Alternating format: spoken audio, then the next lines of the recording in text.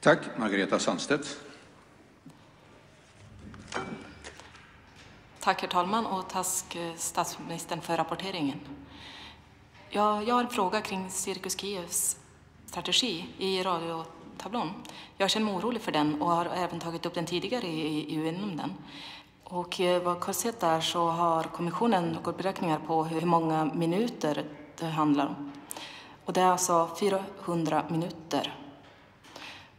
400 minuter sketchmaterial per säsong motsvarar ungefär 40 000 miljarder sekunder.